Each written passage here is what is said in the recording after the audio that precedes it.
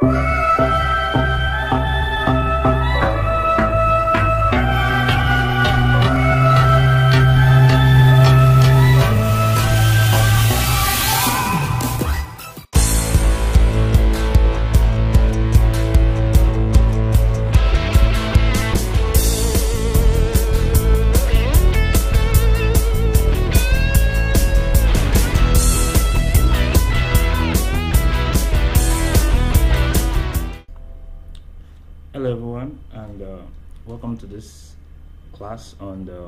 improvement, feature engineering, data processing. So in this class we're going to be learning some of the important concepts that are needed for modern data science and machine learning because that's a major influence on the performance of your models and the quality of insights you can get during EDA, exploration data analysis and the rest. So in this workshop or in this uh, online class, I'm going to show you some important techniques, some tools, and to properly extract, to prepare, and to engineer features from your data sets. Okay. So my name is Rising Odegua. I'm a data scientist and researcher at Data Science Nigeria. So yeah, I basically carry out research into products and development, um, using cutting edge tools in the field, data science field and AI field, the rest. Okay. So, um, what will you learn in this workshop? So, in this workshop, we're going to be learning what feature engineering is, how to handle missing values in your data, how to handle categorical features, how to handle numerical and continuous features, creating polynomial features, normalization of features, working with date and time, and uh, I think this should be number eight. Yeah, number eight working with latitudes and longitudes okay so these are just like some of the um, important tips or things that you can do in order to process your data and uh, help to improve your model. So there are many other things that you can actually do as well but these are just like some of the important things that you will need to do if you are working with data. Okay? So um, first of all let's start by defining what feature engineering is. Okay so Feature engineering is a process of using domain knowledge of the data to create features that make machine learning algorithm works.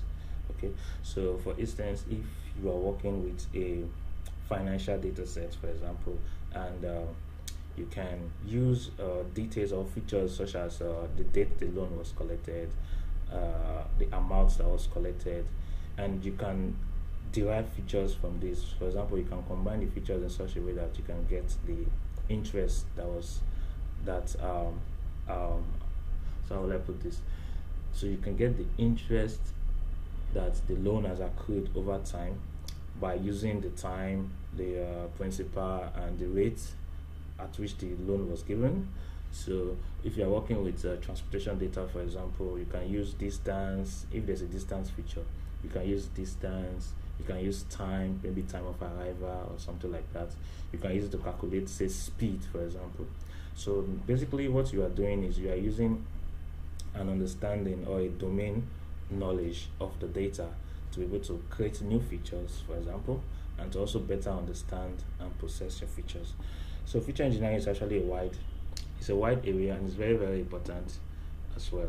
So besides using domain knowledge, also you can also um, process. You can also do data pre-processing. That means you try to convert your features into a different format that is suitable for machine learning models because uh, machine learning models can only work with numerical features okay? So if you have categorical features in your data sets you have to look for a way there has to be a way of converting these categorical features into numerical features. And also there are some kind of numerical features that you are going to have. Maybe they might be at different scales. For example you might have um, income which can be in the thousands tens of thousands scale and you might have uh, uh, for example let me say uh, month month in a year which runs from between 1 to 12 so you can see month in a year has a range of 1 between 1 and 12 while um, income has a range in tens of thousands so you can see these two though they are numerical features and they can be used by a machine learning model they are at different scales. So there are ways in which you can bring together or try to compress these features so that they can have the same skills So we'll talk about those things as standardization, normalization, and the rest. So there are many other things that we'll talk about in this class. So why is, is feature engineering why is it important? Okay, so feature engineering, according to some top experts in the field, and uh, if you actually have been doing data science for a while, you know that um, doing good feature engineering can actually improve your model a lot. Okay, so here's a, uh, a, a, an advice from Pedro Domingos, the author of a few useful things to know about machine learning. He said, "So machine learning projects succeed and some fail. What makes the difference? See, easily the most important factor is the features that are used. Okay, because if you collect data and um, you can't use all the features, so knowing which feature to use can actually help to improve your models because uh, for example I've worked on a project whereby removing some particular features actually improved my model and was not the other way around okay so so being able to analyze your data sets look at your features and know which particular ones are useful which one are not useful which one needs to be transformed is actually a very important skill that you must have as a data scientist or as a machine learning engineer okay. so here's also another one from Andrew Ng. He said, coming up with features is difficult, time consuming, and requires expert knowledge. So, but applied machine learning is basically feature engineering. Yeah, for you to use uh, machine learning in the real world, you have to do lots and lots of data processing and lots and lots of feature engineering. Okay, so um, let's move on. Now, for us to understand feature engineering and perform some different different uh, techniques on it, we have we need to have our data sets okay so we'll be using two data sets in this workshop the first one is the loan default dataset hosted on uh, Zindi by Data Science Nigeria. So the, the, the goal is to predict if somebody is going to defect or default on a loan. Okay, so as we'll look at data set later, you'll see there are many features that you can use, like the date loan was collected, the time, the amount, um, then demographic about the person, like for example the age of the person, the um, was the person referred. There are lots of features, and we're going to look at that later. So you have to be able to process or process this particular data set so that you can be able to predict loan default. So that's the first data set we'll be using. Then the second one is also hosted on Zindi. If you don't know Zindi, Zindi is a, um, it's a data science competition platform, just like Kaggle, where you can work on data science competitions for prizes and uh, most of the data sets are also available after the competition so you can use them to learn. So but Zindi is specific to Africa as a whole. While Kaggle is global? So the second data set is hosted on is is called Sendy logistic data set uh, published by Sendy on Zindi as well. So it's a logistic company, and uh, the, the, the goal of, of this uh, data set is to be able to predict time of arrival okay? So predict time of arrival of a particular delivery. So they want to use it to optimize their logistics services okay? So that's the Sendy logistics so why the goal of this uh, class is not to build uh, models. We are just going to be walking through major feature engineering that you will be doing on these data sets so you can actually prepare them for modeling. So let's move on. All right so the first thing that we did there is to import our libraries important libraries, pandas, numpy, seaborn for plotting, matplotlib, we ignore warnings. Also, there's this library I imported here, datasist. Datasist is a library for doing quick data processing and prototyping. So while most of the things that we're doing here, we'll be using pandas and numpy, I'll show you how to quickly do it using datasist. Okay, so then uh, we import the data. So we have the loan the long data set comprises of three. So we have three separate data sets or three separate tables. So meaning you have to, if you are going to be modeling with this, you have to um, process them and merge them together, join them together. Okay. So if you, I'm going to share these um, notebooks with you all so you can, the, the link to data set is actually there. So if you click on it, you can go to that particular page and download the data sets from there. Okay. So um, we read in the loan data sets, which comprises of the demographics of the person, of the people collecting the loan. We talk about the age, the, um, uh, the year of birth, oh i said age already. Okay. The year of birth the name of the person the um, is the person a graduate or not. So these are just like demographic about the person collecting the loan. Then we have previous loans that people have collected or the or the uh, people have collected in the past. So can you understand can you use this previous loan the status of this previous loan to like predict if this person will actually default now? That's this second table. Then also have trend performance performance of previous loan. How well did they perform? Then uh, the next data set is the Sendy logistic data sets okay? So I explained this one earlier. So let's move on. Okay so taking a look at the head of the data set for loan demographic we see that we have uh, let's see one two three four four five I think about nine features. Yeah we have about nine features. So I think I'm going to remove the transpose. Oh sorry I didn't import this yet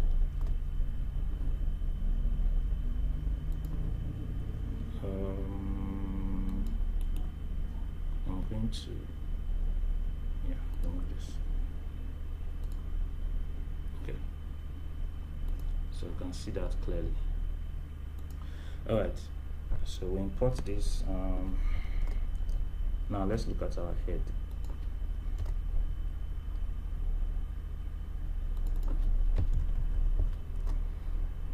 So we have customer ID which is just a unique identifier for the customers so this is a categorical feature okay then we have birth dates so you can see I think this this is a, like a time feature birth dates of the person the account type of the person is it savings or is it current what type of account is the person holding then the location you can see we have latitude and longitude location then the name of the bank so you can see we have GT Bank, Sterling Bank. So these are all banks in Nigeria.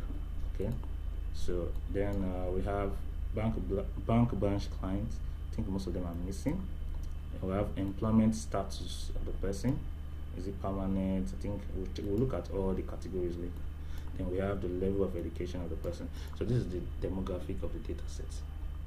Then let's also look at the performance, loan performance okay so we also have a customer id so you can see we have customer id here we have customer id here so this is like a unique feature or the key primary key that we can use to join these two data sets together. Okay and we have loan id so this is a different type of key. Then we have loan number okay. Then we have the date the loan was approved the creation date the amount that was collected total due. So for example this is like the interest on top of it. That's the interest total is like the interest plus the capital plus the principal that was borrowed. So you can see this is 30,000 and now it's now 34,500 so we have an interest of 4,500 so this is what the person is supposed to pay back. And we have the 10 days the, the, the, the, the length or the days the time that the person has to pay back. So this is 30 days which is typically a month. This is 15 days which is two weeks and the rest. Then referred by if the person was referred by any other person before then this is a good or bad flag this is what they are trying to predict if the best if the loan will be good or bad. So this is like the um, target. This is the target for this particular loan default data set. So this is the target. Then the last one in the loan default is the loan previous so looking at previous loans collected by a particular person. So you can see we also have customer ID, which is the unique ID that's common to the three data sets. So if you are going to be merging these sets together, you want to consider using the customer ID. Then we have uh, system loan ID, which is similar to what we have here. So you can see that you can use this ID to join these data sets, previous loan and loan performance together.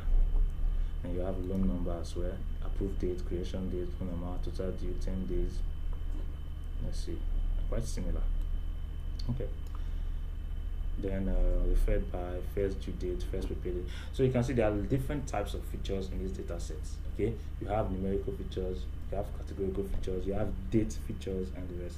So for example this this approved date creation these are all date features. And if you are going to be building a machine learning model you cannot work with date features like this.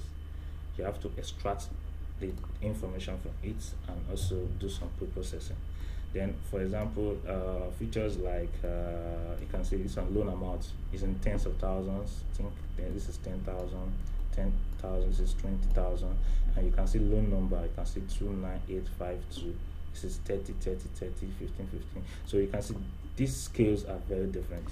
So for, for you to build good and robust, robust models there should be a way for you to be able to put all numerical features in the same scales so that it can actually help your model learn faster and improve. And also um, you can see this is the categorical features where you have savings i think different type of bank accounts. Name of bank name clients also have different type.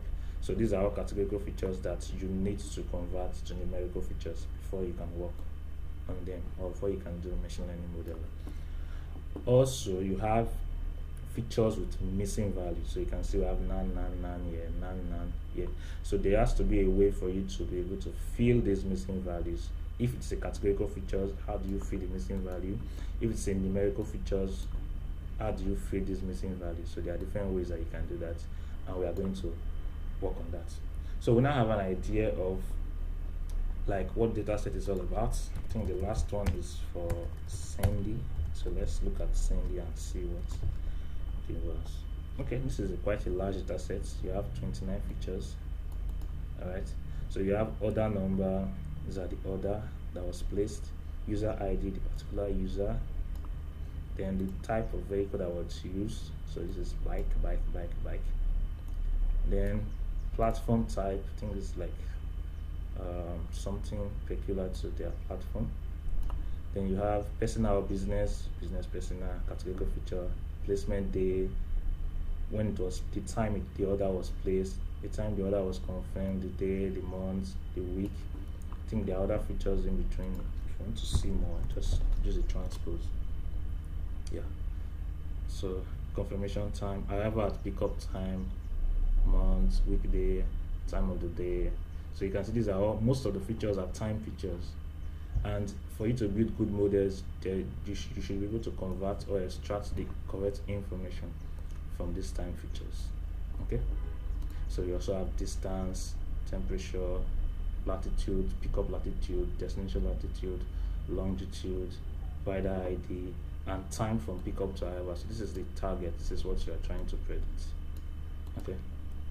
So you have that. Um, so right now we've seen like the head of our data we understand most of the features that we have here. So i think we should move on to feature engineering and data processing on this particular data set.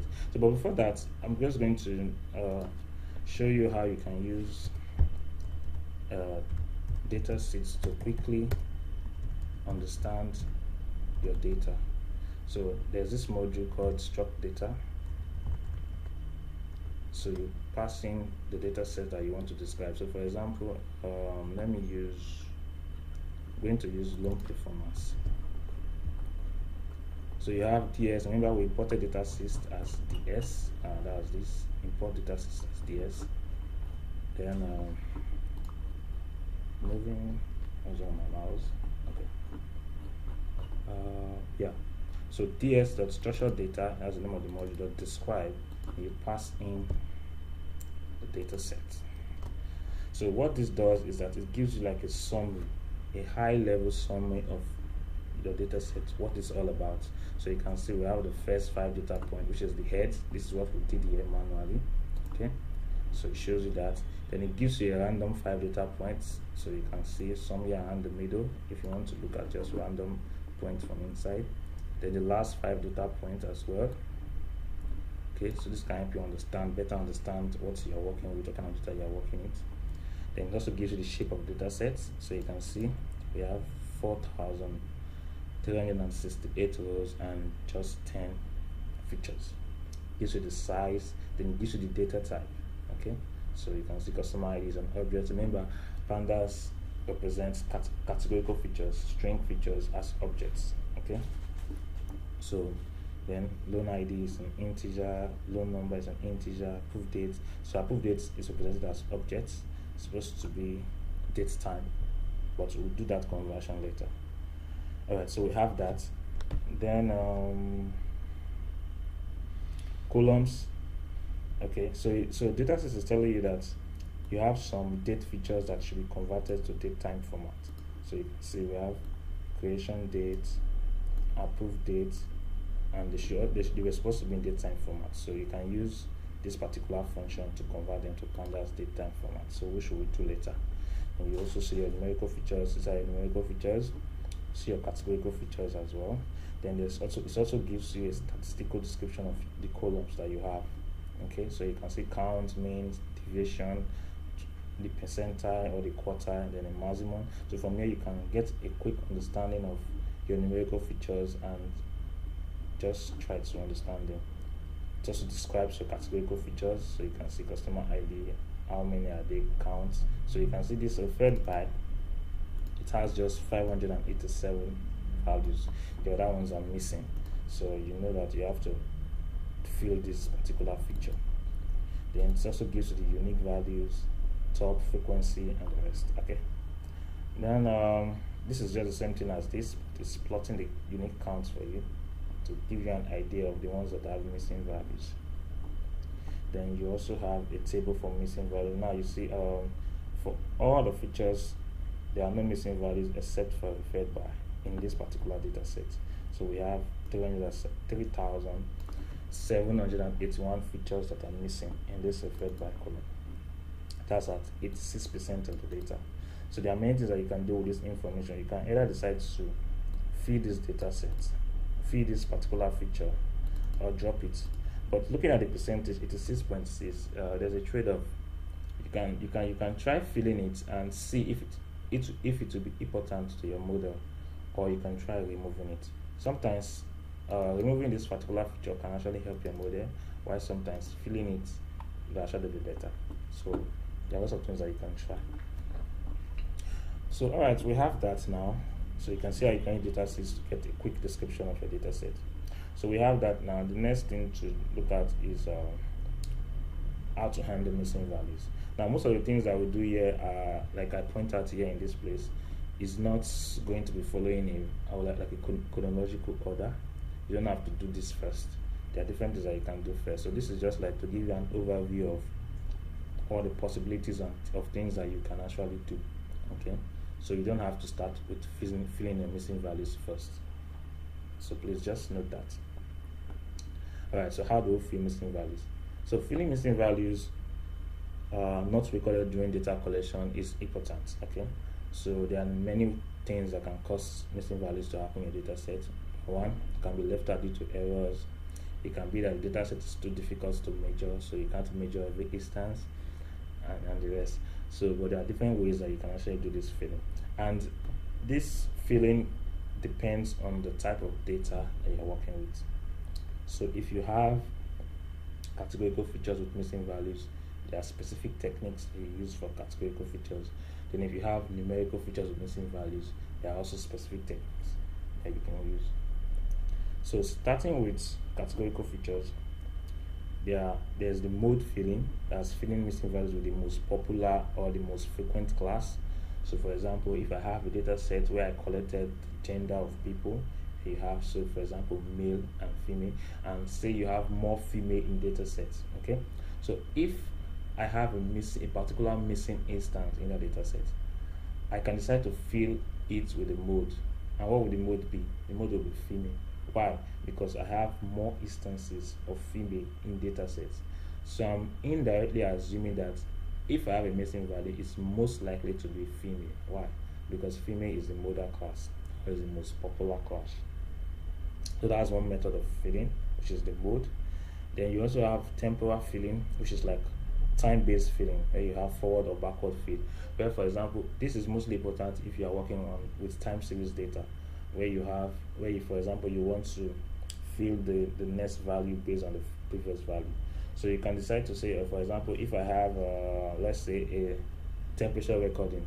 So for example at 10 o'clock i have i recorded a temperature of say 36 degrees centigrade. Then at um, uh, 11 o'clock i recorded 37 degrees centigrade at 12 o'clock I recorded 38 so you can see there's kind of like an increment in the in the recorded temperature based on time. So if I have a missing value for say 1 o'clock for example I can use forward filling to say okay if i have 36 37 38 the most the next feature is likely going to be close to 37 as well. So you can do forward filling on that. The same way you can if you reverse it you can also do backward filling where you feed data based on their predecessor. Okay so this is mostly done in uh, in time series data set data set where you have features that are depending on each other on either the the uh, preceding value or the succeeding value. So that's for temporal filling. Then you also have encoding and filling. In this case you can actually do encoding. If you have uh, categorical features you can encode them with numbers. Then you can now maybe do some calculate the mean or the mode of it and use it to fill so these are for categorical features okay? So let's just see that in action. So what, what i did here is to like i want to use the mode filling for this particular data set. For loan demographic let's look at the ones that have missing values. So you can see we have this is any dot na.sum will show you the um, data points or the features with missing values. So you can see for bank branch clients we have 42,000 no sorry 4,295 features or missing instances out of 4,346 which is very high okay? For employment status we have uh, 648 missing. For level of education we have this missing. So and these are all categorical features. So bank compliance categorical feature. Employment status same thing. Level of education they are all categorical features okay? So if you are going to fill fill it. Let's start with mode filling with mode. Okay let's see what i did here. Now for for employment status if you use this value count since it's a categorical features you can get the most popular class which is the modal class. So you can see that permanent is a modal class with 3146 instances. Okay? And you have self-employed students unemployed retired and contract. So if you are going to be filling with mode for this particular feature you are going to be using this permanent class why? Because it is the modal class it is more popular. So we are assuming that if a missing value occurs in, in this particular feature it is most likely going to be permanent. Okay? So you can so we'll do that. So from the value count we see that permanent is a modal class. So filling with mode is simple. So we just do is uh, loan demographic dot fill na this pandas function that says that okay i want to fill every missing value in employment status with this value permanent so to replace every any and none with permanent class okay so if you check that again now you can see employment status is gone so you can do the same for bank branch clients and uh, level of education of the client. So you can do the same. You can first of all check the um, modal class and then you can use the fill NA function to, to do that. Okay. Then uh, for numerical features, what are the kind of um, filling that you can do? You can fill with the mean or the mode or the median. So for categorical features, you cannot calculate the mean. You cannot calculate the mean of categorical features, so it must be numeric You cannot calculate the median of categorical features. You can only you can only look for the mode. But for numerical features, you can calculate the mean, you can calculate the mode, or you calculate the median. You can use these things to fill. Then you can also do temporal filling, like we said earlier. You can use the uh, use of machine learning models to fill, which I'm going to show you shortly. Meaning you train machine learning model to learn the most appropriate value to use to fill missing values. This is also very important and it works well most of the time. Okay. So now let's demonstrate how to fill some numerical features. So let's look at this time, let's consider the Sendy logistic data sets. So remember, we saw that, okay, using is na.sum shows us that uh, we have two features, which is temperature and precipitation in millimeters that have missing values. So this precipitation in millimeters is very high. We see 20,649 out of how many? Let's see. Let's look at the out of 21,201. So you can see it is very high number of missing values in this guy. Okay, so we also have temperature. So and these are numerical features right so how do we fill them now different methods so we can use mean So it's simply just calculating the mean of this particular feature. So send the data temperature dot mean, save it here. You can also get the mode using dot mode and modes sometimes come for example if I do this if I run the mode of this guy I have to 24.7 so sometimes you might have uh, so let me okay. So if you calculate the mode in pandas it normally returns two values okay? Like something like an index and the particular mode okay? So for you to get that particular modal value you subset it using this list option here. Okay so please take note of that. All right and sometimes you can have two modal values. So you can decide to choose one. You can have two values that are very popular that are the same. So you can decide to choose one. Then you can also calculate the median the same way. So using this calculated values the filling is easy.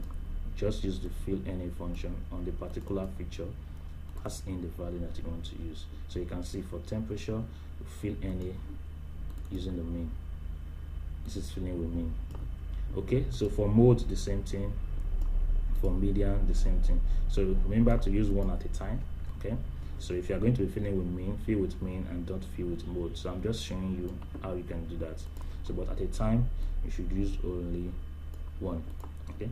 So you can see for mean fill with 23 for temperature then for modal value it's using 25 so, so this tells you that uh, 25 is the most common temperature value for this particular data set okay so for mode it to 25 for median value it to 24 so you can see that they are very close to each other now what you can do is to compare if you are training a model you cannot compare when you feed with mean the, the accuracy is the accuracy higher than when you feed with the model value or when you feed with the median value. So you can compare and then decide which particular value to use.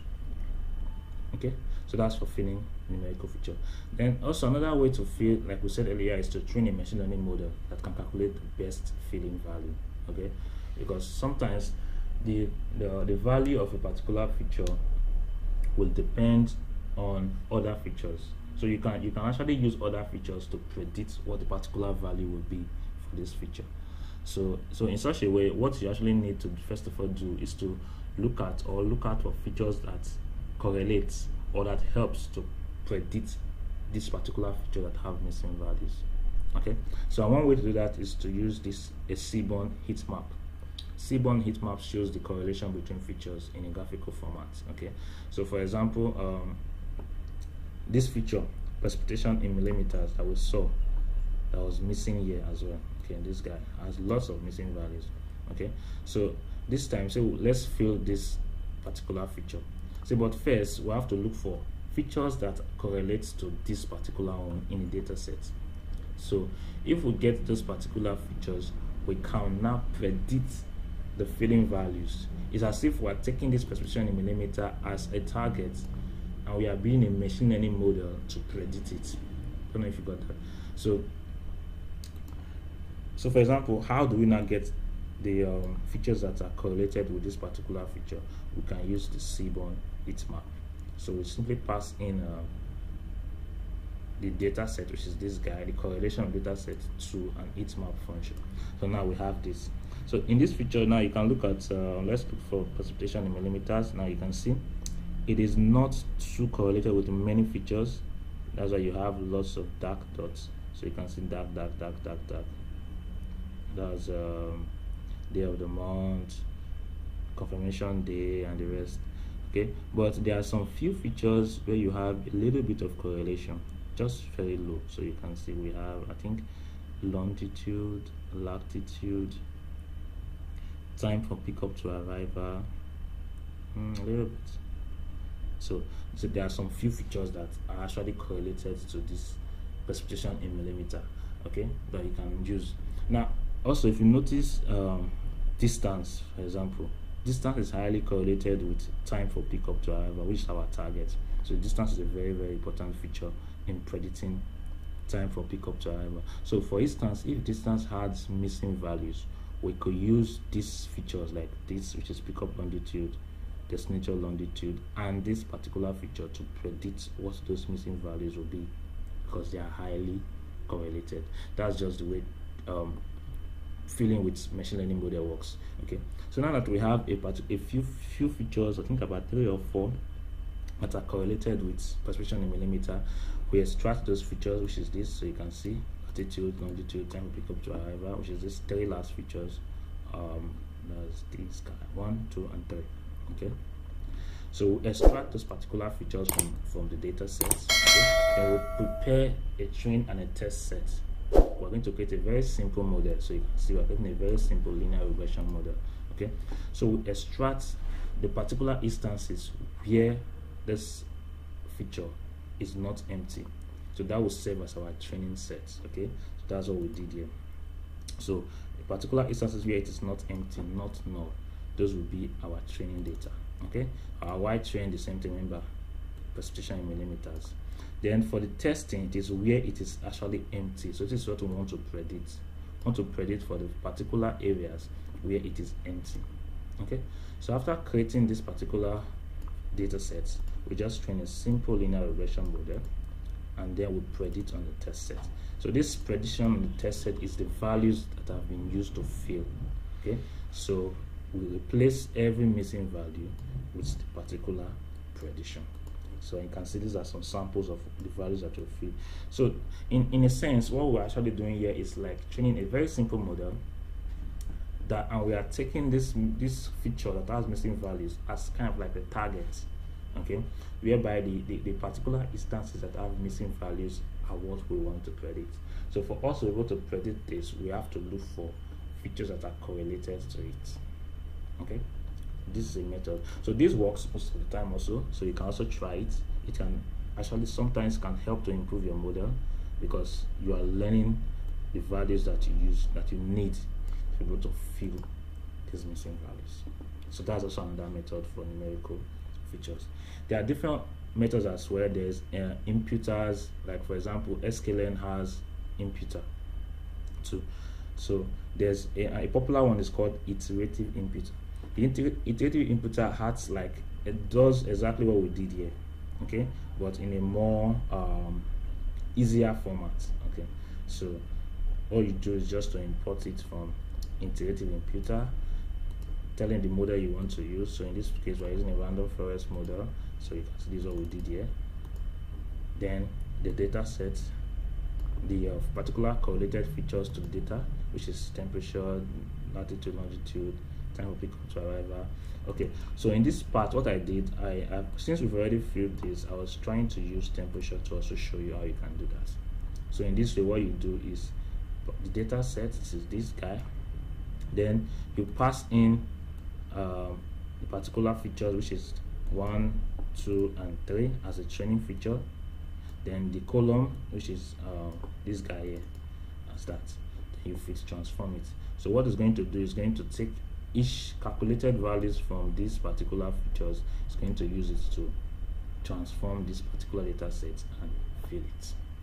So it's basically doing similar thing to what we did here but it's actually quite easier to use. So it depends on you you can decide to use any of these. So these are the values that it used to fill the data set. Okay? So instead of using one value one single value like mean or the mode or the median it's basically going to use different values based on what it has calculated using these features. This is what we have. So that's for numerical features. Then um, we've talked about um, filling of categorical features talked about filling of numerical features. Now we'll move on to the next segment which is how to handle categorical features okay? So for you to handle categorical features, you have to understand that we have different types of categorical features because we have uh, basically ordinal categorical features, which is these guys, and non-ordinal categorical features. So what are they? So ordinal categorical feature from the name ordinal has a particular uh, ordered categories. So for example, we have a particular class or a particular category that has a higher order than another class. So for example, if you have uh, star ratings in an application where you have one, two, three, four, five stars, if somebody gives two stars, it is higher than when somebody gives one star. And if somebody gives a five star, it is higher than when somebody gives any of these four, three, two, or one star. So this is a categorical feature.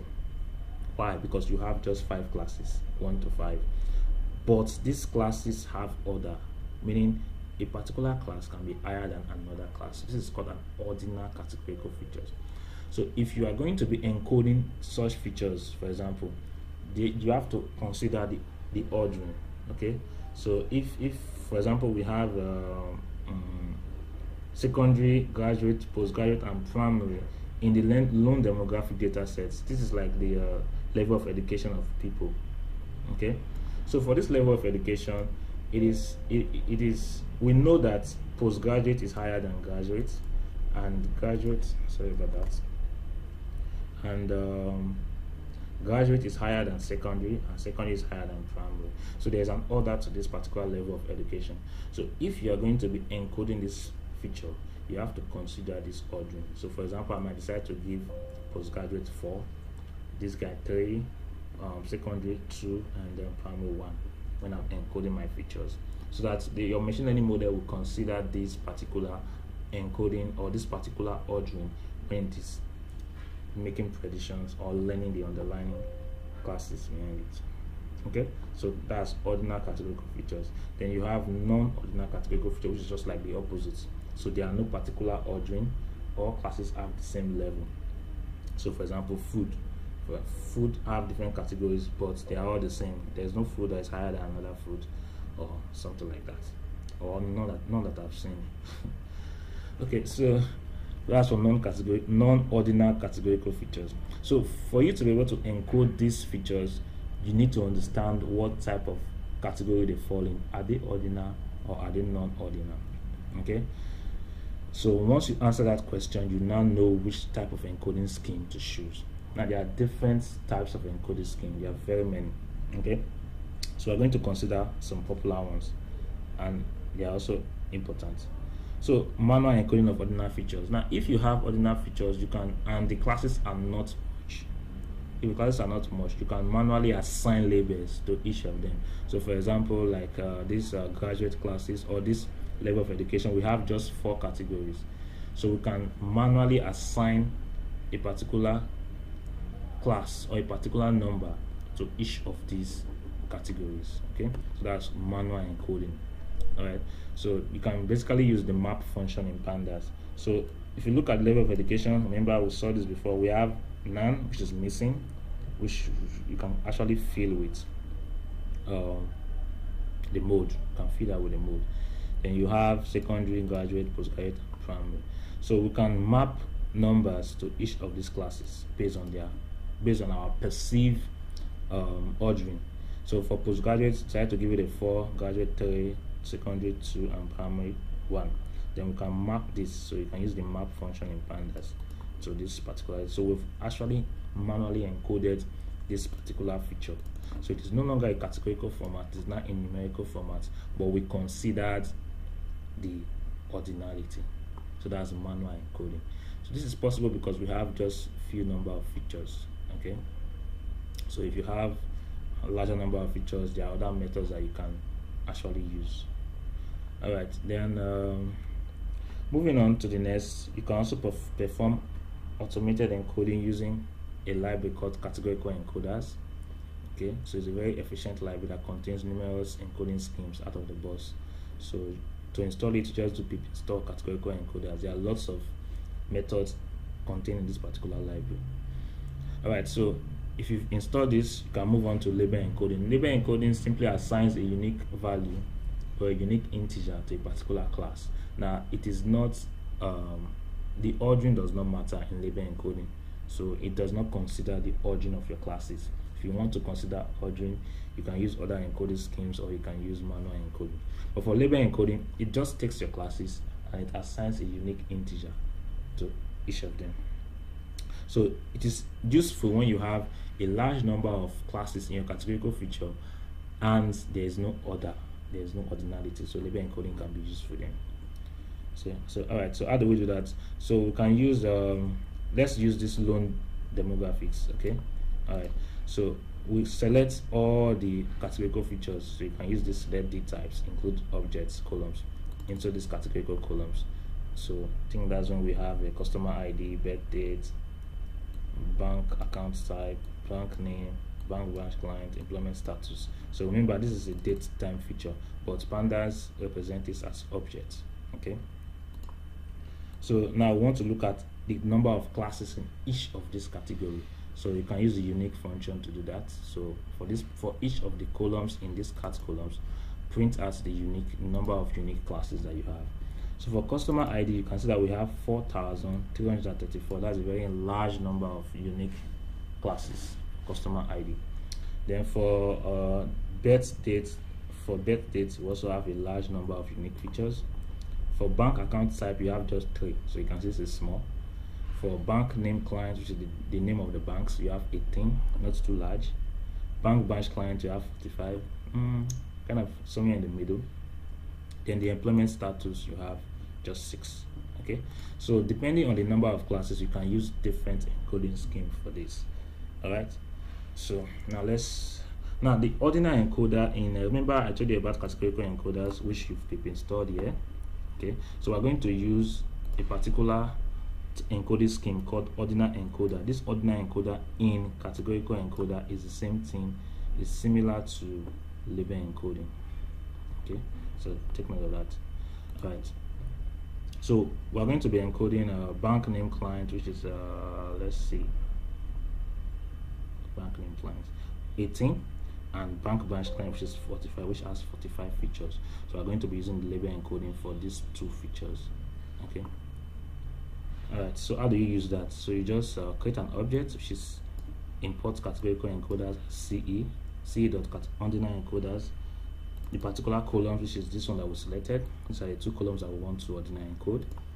Then uh, we fit transform it. So you can see it is using the same API as sklearn. So you have fit, fit transform, and other stuff like that.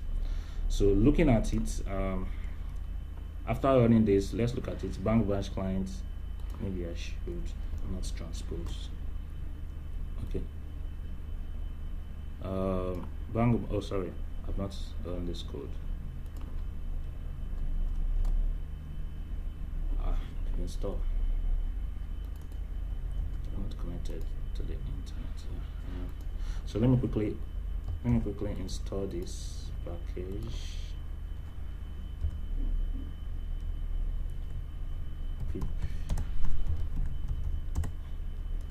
I'm not supposed to run this particular segment. Okay so while we wait for that to quickly install and install. Now you can see currently we have this is the bank name clients and the bank branch clients. So we have they are still in categorical format okay? This is this one as well but uh, we can't see. Let's let me look at it see oh this guy is running. Okay, perfect. Yeah so let's look at the detail so now you can see for bank name clients you now have numbers instead of um, the categories.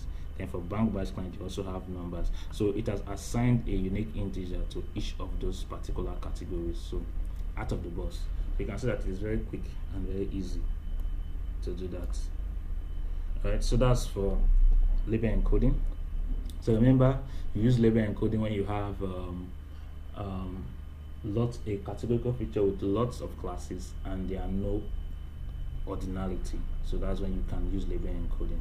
All right. So what about if you have uh, ordinality, for example, and the classes are not too much? So in that case, you can use something called the one-hot encoding.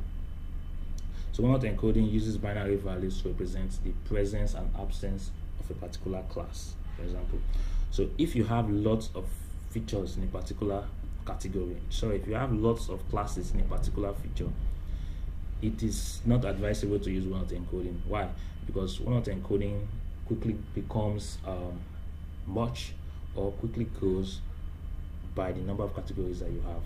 Okay, so because it's going to be creating a feature per category. So if you have 35 classes, for example, in this case where we have um, 3,297 feature or this guy, where we have this. If you are going to be using one of the encoding to encode this particular categorical feature, it's going to generate 4,334 extra features to your data set, and that is very many. Okay, so in like in this case, it's going to add an extra 18 features to your data set. But for label encoding, you can see that it was, it was just the same one feature. So one encoding is, is, is good, it's important when you have an ordinality in your data set, in your feature, and the classes are not much. So for example, in um, yeah, like in employment status of clients where you have just six classes, and in bank account type where you have just three classes, you can use one-hot encoding. Okay, so let's quickly see how we can use that. So also we have the one-hot encoder in the categorical encoders libraries. So you just call it one-hot encoder, the same method, passing the particular features that you want to want to encode then you do a fit transform. So if I run this and then let's look at the head of the data set. So you can see bank account type and level of education. Bank account type now remember we have three classes. Those three classes now we have extra three features. Okay? So it has created one feature for each class. That's for the bank account type then we also have for the bank name clients which had no that was not bank name clients. Okay sorry. Level of education. Where we have one two three i think should be about six is it five? Let's look at it. Okay yes we have six six unique classes. So it created extra six features which is one two three four five. Oh so the first the uh is going to create five six minus one five features. Yeah. All right so that's for one-hot one not encoding. So then also there are, you there are numerous uh, values are, there are numerous schemes that you can use in categorical encoders. There's also another one called the hash encoding. So hash encoding is fast and space efficient so if you have a large number of classes and you don't want to use one-hot encoding or you don't want to use label encoding, you can use the hash encoding. So hash encoding is very, very efficient. So the same, it works using the same method. So you create an object, then you create something called a component. So the component is like the, the, the dimension, how many, the, the more dimension you give it, the more it will be able to effectively capture the particular class that you have. So you can set to use 10 if you are working with a large a, a, a data set or a feature that has a large number of class you can decide to use a, at least a little bit higher number of components. So this is how you use it. All right so you can see. Let's let's let me use that for one demographic. So for this particular feature bank name clients and bank branch clients. Going to take some time because we have about 10 components. All right so now you can see it added column 0 to column 9 so it added 10 extra components that it has encoded using these particular features. Okay? So that's for hash encoding. So you can see there are numerous ways numerous methods. There's also another one called target encoding. In this target encoding you you use the the the the idea of the target. So for example if you are trying to predict like in this data set we're trying to predict um, good or bad flag so that means we're trying to predict if a loan will be defaulted or not. So you can use this uh, particular target to fill use the idea or the knowledge embedded in this particular target to encode a particular feature. So it's called target encoding. It mostly works but sometimes it can cause severe overfitting. So you just have to try it and see if it works for you. So how do you do that the same method using categorical encoders. So you can see most of all the encoding schemes are already implemented in categorical encoders. So you just have to just create an object and call it, and use it. Okay, so that's what we did here. So for example, this particular loan number, you can use the target encoder. So we specify the target, which is this, and we specify the data set plus just the and we have something like this loan number so you can see we have something like this all right so let's move on to that so if you need to know understand more um, encoding schemes you can look at the official documentation. So this notebook will be there, so you can go to the official documentation of categorical encoders and you can actually um, work on this. So let's move on to the next part, which is how to handle numerical or continuous features.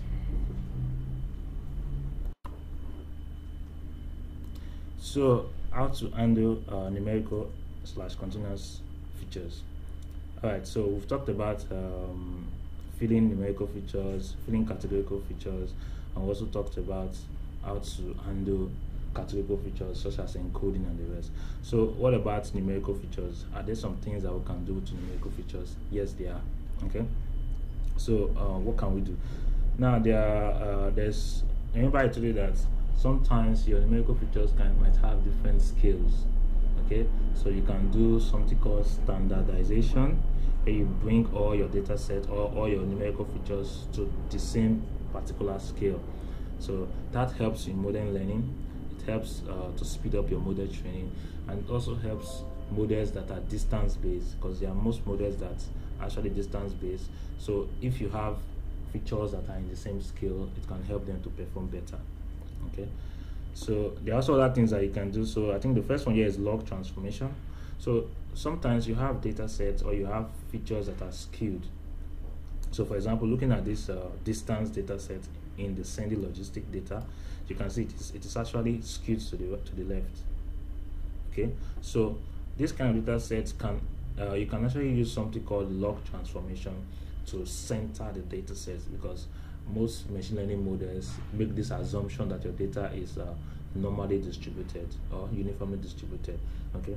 So to to help the models perform better you can actually just use a log transformation to um, transform your data features so that they become kind of balanced at the center okay? So much like everything data science this sometimes helps to improve your model sometimes it does not so you just have to try it and see if it actually works for you okay?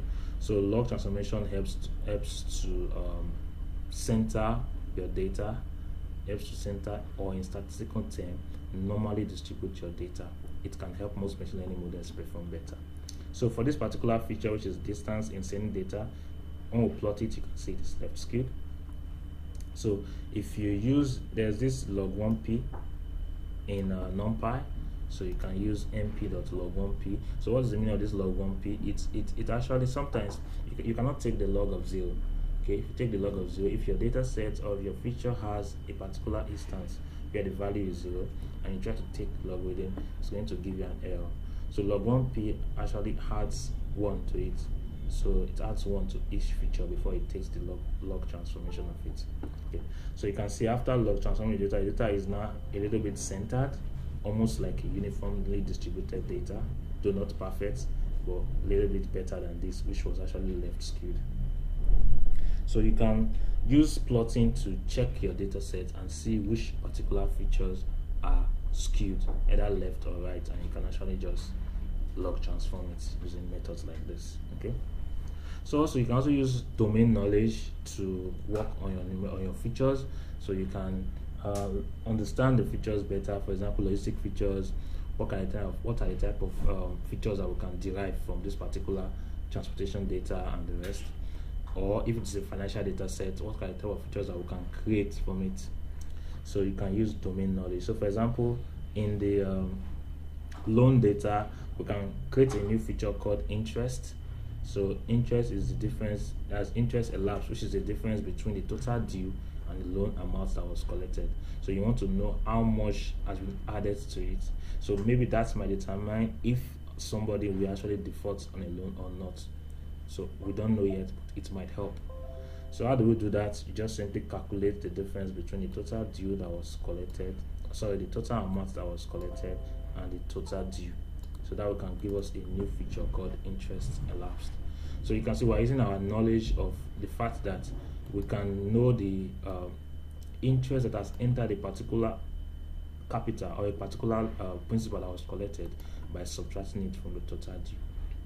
So if you study your data set very well, there are lots of features that you can come up with something like this. So there are lots of things that you can do.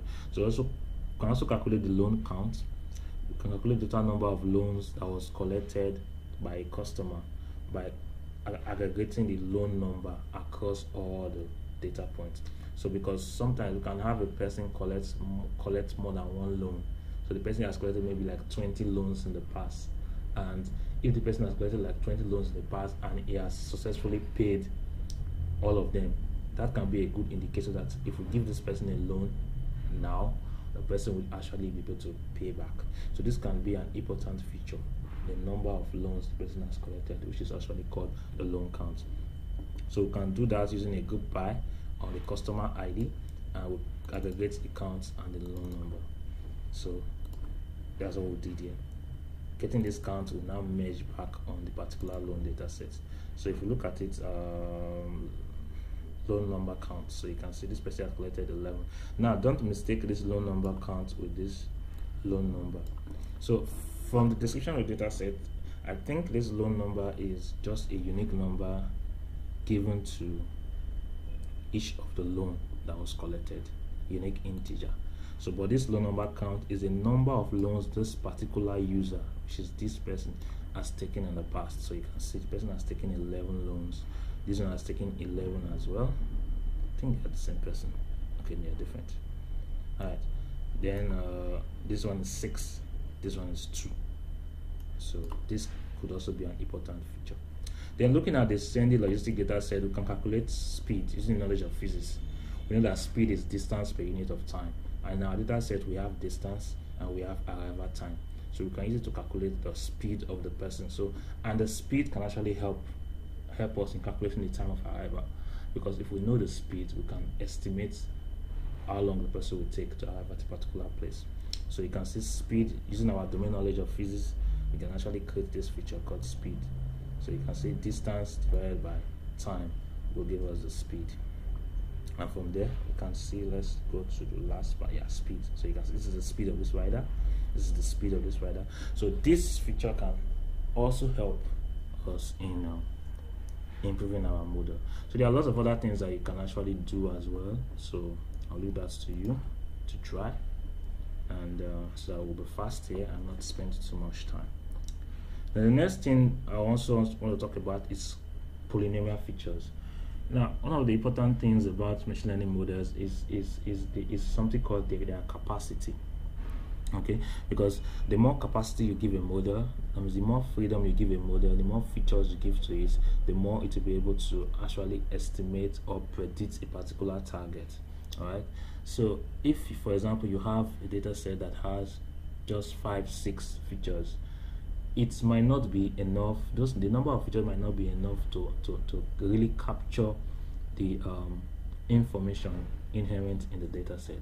So so what can you do to improve this? You can actually do what is called crossing feature crossing or generating of new features from this particular uh, little number of features that you have okay? So that's where polynomial features comes in place. I think this is one of the reasons why uh, deep learning models are actually very efficient because deep learning models can extract quite a number of features from little data sets okay and they can use it to um, create better models. Although um, the downside of polynomial features is that they can actually lead to massive overfitting. So you have to be careful when using it. So it's better if you try different number of polynomial features so that you don't actually go into overfitting. So polynomial features can be created. There's this um, um, module in sklearn preprocessing module so you can import the polynomial features from there. And what do you do? You just select a particular features that you want to cross or that you want to create polynomial features on. So for example loan number total due and term days which are three features. I want to cross these particular features together and create new features from it. So crossing can be addition can be simply multiplying them together or dividing them together. So these are all features that i can create from these three features here so remember the same API if it's transformed, passing the data set and the features that you want to cross. Okay, so then uh, do a fit transform here. All right, so now you can actually specify the number of dimensions that you want to use. Do you want to use uh, a polynomial feature of degree 2 or degree 3 or degree 4? So the feature will tell you how many times these features are going to be crossed with each other. So it's, it's advisable to keep it simple, but you can try different methods. Methods there. All right. So um, if you cross these particular features and print the edge, so let's move on. So you can see it's adding zero to nine. We add one, two, three, three features, three by three, nine. So it's going to add extra nine features to the data set, which is the, crossing of each of these particular feature. So that's polynomial features for you. So if you have a data set that has a little number of features, you can try crossing them together and seeing if it will help improve your models. And note, you can only cross um, numerical features. So if you want to cross a categorical feature, you can maybe decide to encode it. I doubt if that might work well. Work well. So, but it is advisable to cross numerical features and to cross features that you think or that you know are correlated to each other okay? So don't start crossing features that are not correlated to each other. It might worsen your model performance. All right so let's quickly move to the next one which is normalization of features. You can also call it standardization okay?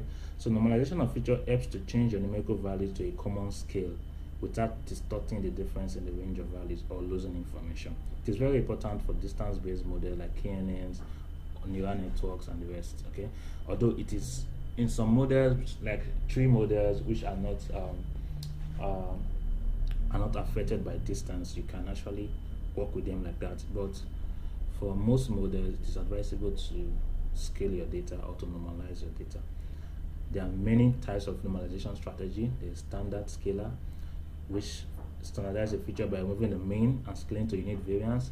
There's robust scaler there's min max scaler they are very different. So it depends on what you want to do so and also a note here you should not fit your you should never scale your you should never fit your um, test of validation data set okay? So you should calculate the scaling values or the normalization values on your train data set alone and then use these values on your test data set.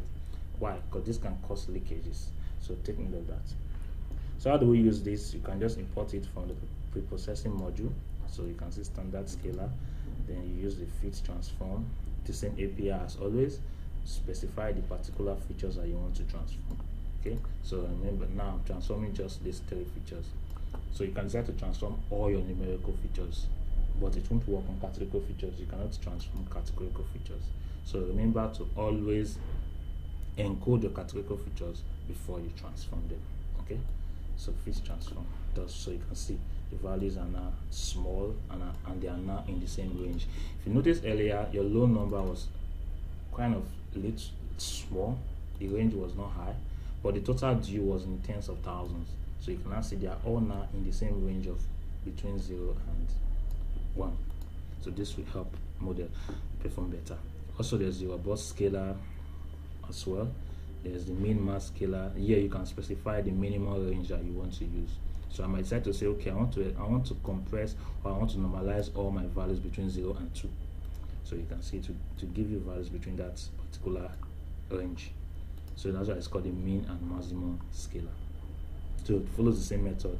Create an object from it, then fit transform it. Alright, so um, I think uh, we're almost close to the end now, but I would also like to talk about how to work with date time features because most of the time you have features that are that are um, um, you have features that have date time in them okay? So you might want you can't use these features as they are. You can't say you can't pass in a date time feature like like monday or days of the week or month in a year to a particular machine learning model and expect it to work work well like that. No you have to like extract information from these date time features convert them to numbers as well okay? So date time features are very popular in machine learning. So these features are temporal in nature and they require specific feature extraction techniques.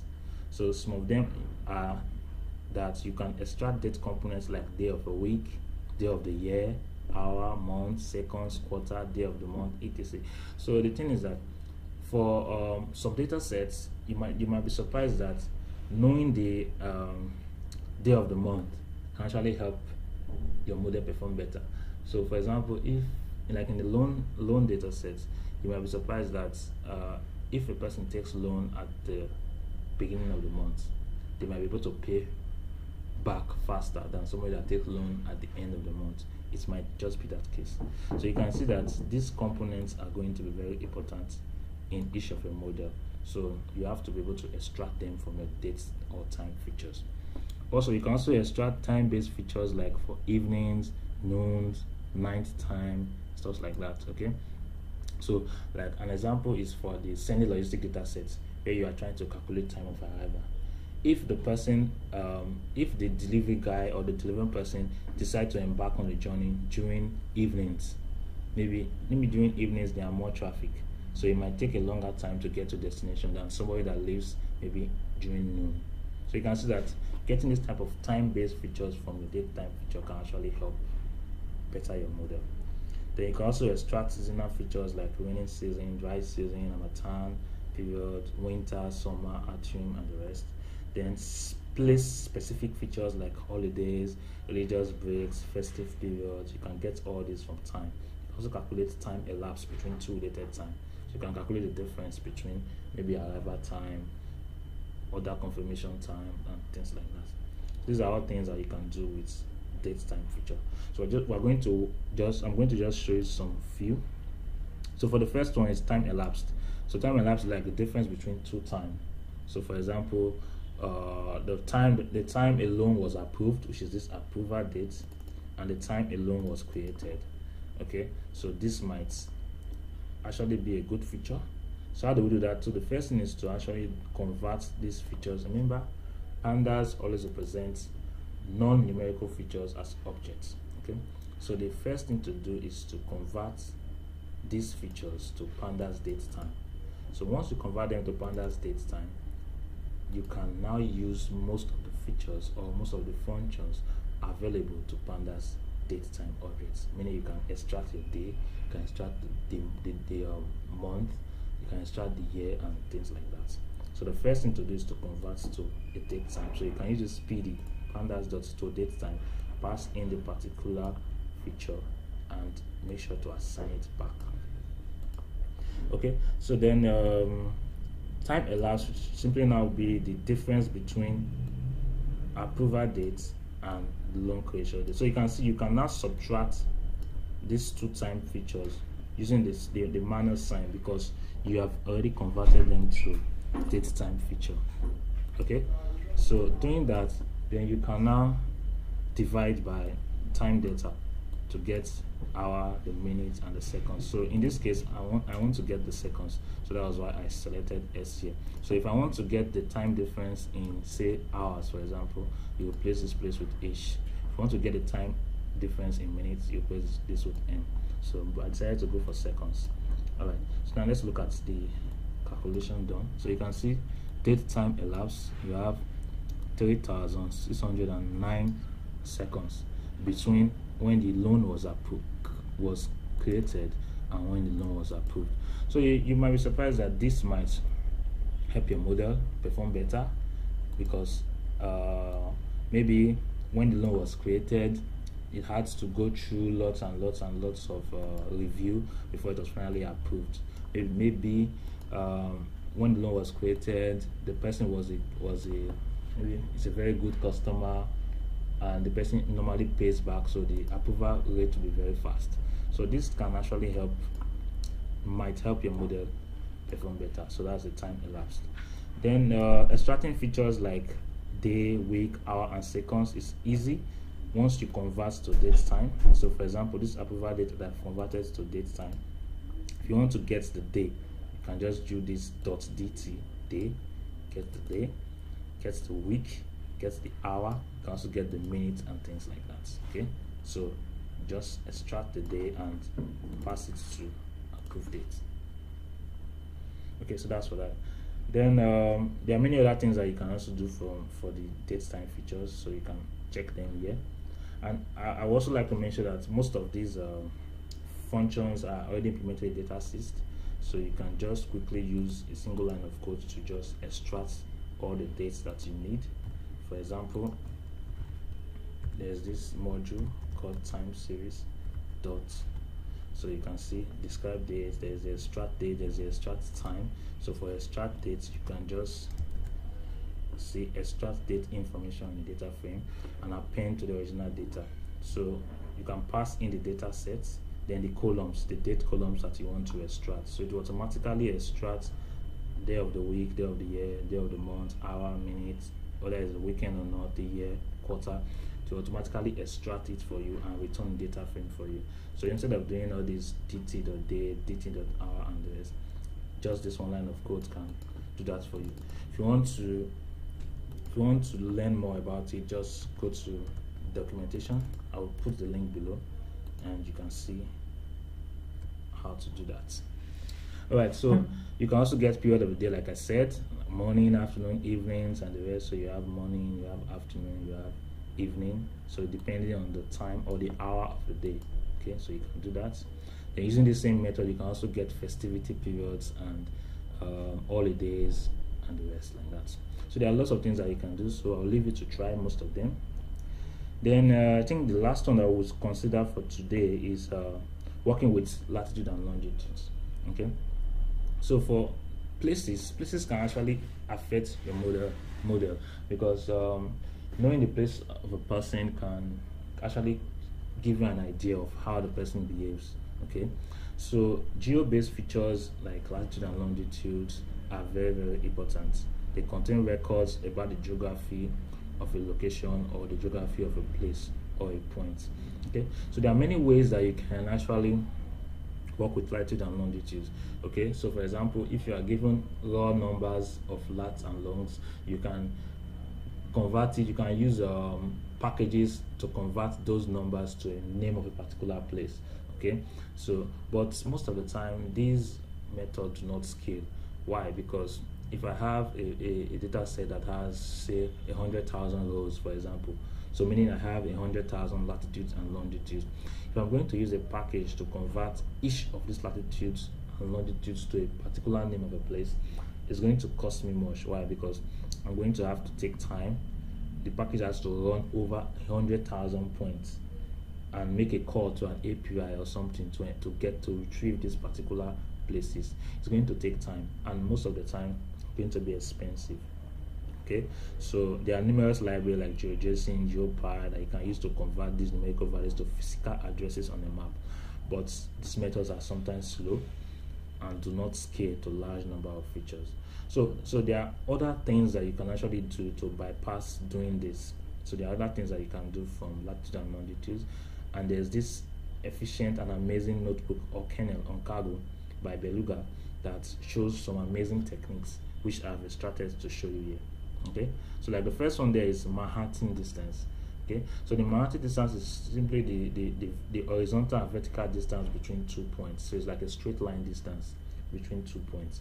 So if I know the latitude and longitude of the starting point, and I know the latitude and longitude of the end point, I can get the distance between these two places.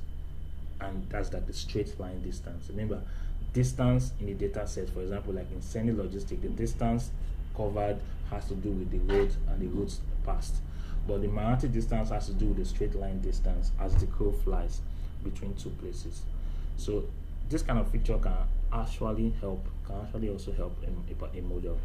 Okay, so this you can see this is the formula for calculating the Manhattan distance. So it takes the latitude and longitude of the beginning points point and the latitude and longitude of the end points point and it calculates the Manhattan distance between these two places.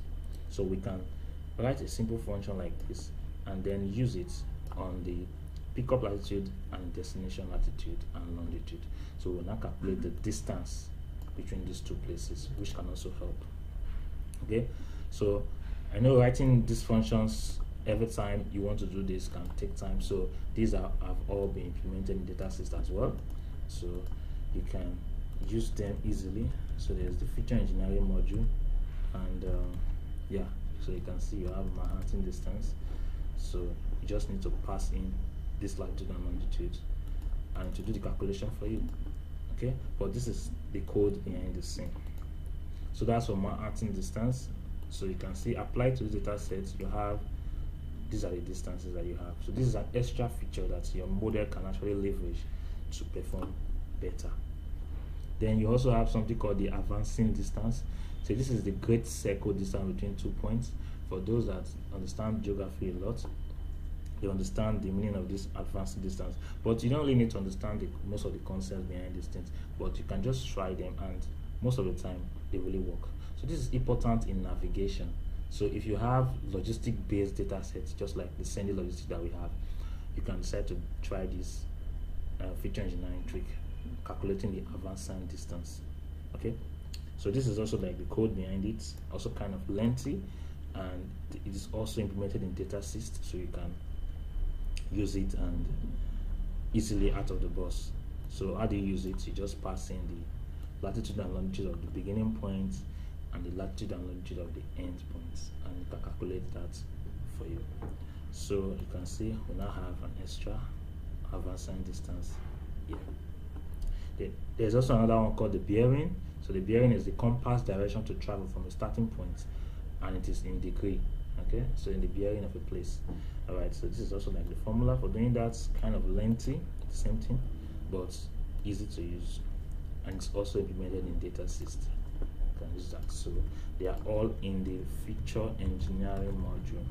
I think bearing yeah. So you can see yeah. So latitude longitude calculates the bearing of a place so you can all use this. I'm going to link the, the documentation, Datasist, and also a sample tutorial that you can use to better understand how these things work. But know that you can actually do the calculation yourself as well as using existing tools. So that's for the bearing, calculated bearing, and we also have, yeah, this. So you can see we have the bearing, we have the haversine distance, we have the Manhattan distance, all from the pickup latitude and longitude points that we have. There's also another one called the get center point where you can get the center point between two locations from their latitude and their longitude. So this can also help as well. So this one is actually quite simple. You just uh, add the latitude and longitude together for the pickup and destination or for the starting point and the end point and you divide by two. Okay, so that will give you like the center latitude or the center longitude.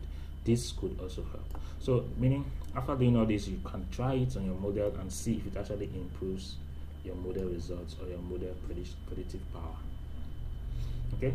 So that's basically some like um, practical tips or some beginner guides to doing feature engineering and data processing is not all does not cover advanced steps. There are many many many many other things that you can do but this can actually just set you on the right course and the right path to doing feature engineering. So basically a wrap up we started with how to fill missing values then we moved on to working with numerical features how to work with categorical features encoding your data and stuff like that. Then we move on to um, um, what do we do again? Okay okay working with time features then working with distance based features. I also mentioned, briefly mentioned Datasist that you can use to do most of all this pre-processing that we've done here. So you can, the link is also in this notebook. So you can actually just check it out. We have implemented many of the functions that you'll be using. So even for filling missing values, there are easy way that you can use to fill missing values at data scale. So you can check that out. Yeah, and also you can learn more about it. Yeah. So we'll, we'll end here today, and uh, by ending, I would just like to mention this feature engineering is important, and there's a difference between a good machine learning model and the best machine learning model. So it can actually help to improve your model accuracy, your prediction rate a lot. So it is important that you take your time to pre-process your data, to engineer your data, to extract features, stuff like that. So I'll be sharing this notebook with you all and you can improve it you can add more features to it and you can use it to learn as you go okay? So uh, so thank you very much for being part of this class and uh, you can connect with me on twitter the link is here. Connect with me on linkedin. If you have questions you can always drop in the comment section below for answer or you can send me a message on twitter linkedin and i would love to answer your questions and from you. So, thank you very much and uh, have a great day or have a great time.